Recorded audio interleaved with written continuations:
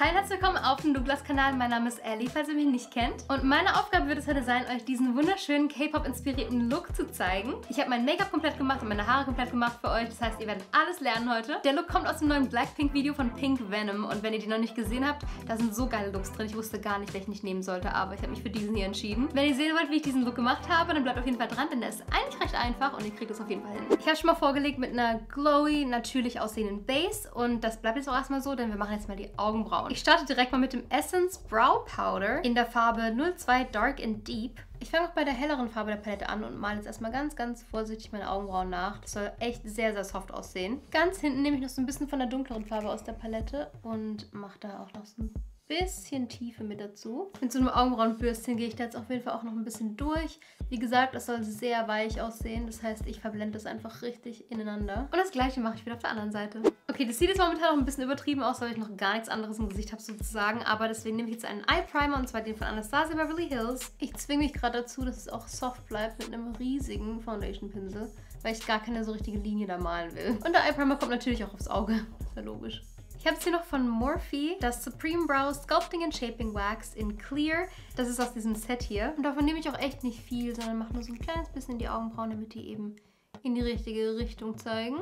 Fluffy Brows sind am Start, würde ich sagen. Ich nehme jetzt auch noch das Augenbrauenpuder aus dem Set von Morphe und setze das noch an so ein, zwei Stellen drüber, wo ich noch so ein kleines bisschen mehr Definition haben will. Ich finde immer, wenn das Augenbrauengel drauf ist, dann sieht man, wo noch irgendwo ein paar Lücken sind und so. Deswegen mache ich das immer ganz gerne am Schluss. Auf das Augen-Make-up freue ich mich so sehr. Ich habe jetzt die Natural Flirt Palette von Morphe. Die hat einfach einige so super schöne Rosé-Töne, was perfekt für diesen Look ist. Und ich nehme erstmal die Farbe Come Here Often und die kommt jetzt erstmal aufs komplette Lid, weil eben alles wirklich soft sein soll. Das heißt, wir setzen so ein bisschen unseren Eyeshadow Shadow Primer. Jetzt gehe ich mit einem super großen, flauschigen Pinsel in Touchy Feely. Das packe ich jetzt ganz, ganz grob mal aufs Lid. Wichtig ist, dass es alles super gut ausgeblendet ist. Da sollen jetzt gar keine harten Kanten sein. Und da setze ich jetzt die Farbe Too Swoon noch aufs Lid. Ich nehme auch immer nur so ganz wenig Produkt, weil ich nicht ein super krasses Augen-Make-up haben will. Jetzt fängt es langsam an interessant zu werden. Ich habe hier den Make It Big Eyeliner von Morphe. Und mit dem machen wir jetzt erstmal einen relativ dünnen, aber langen Eyeliner-Strich.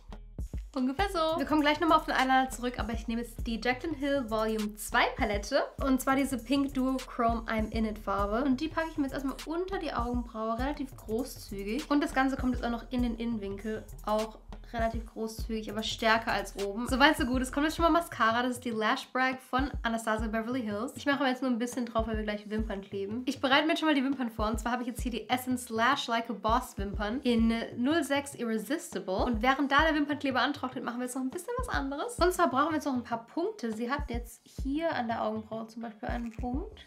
Und dann hier außen nochmal. Das gleiche natürlich auf der anderen Seite. Dann kleben wir mal die Wimpern auf.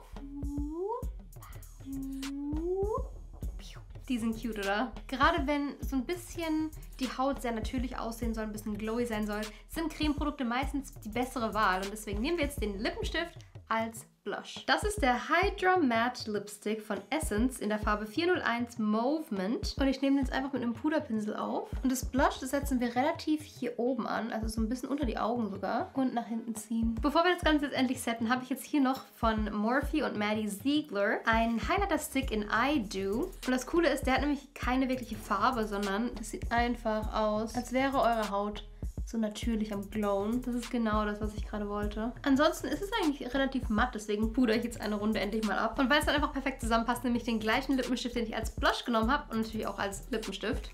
Ich finde, das sieht schon mal richtig cute und richtig fresh aus, aber wir müssen uns noch die Haare machen. Das wird ein bisschen schwieriger, weil ich bin sehr schlecht im Haare machen. Wir schaffen das. Im Original gibt es natürlich einen Pony, den habe ich jetzt nicht, aber das macht ja nichts. Ich muss jetzt erstmal so ein bisschen abteilen. So vom Ohr schräg nach oben. Die klemme ich jetzt erstmal nach hinten. Gleich auf der anderen Seite. Okay, das muss jetzt relativ eng anliegen.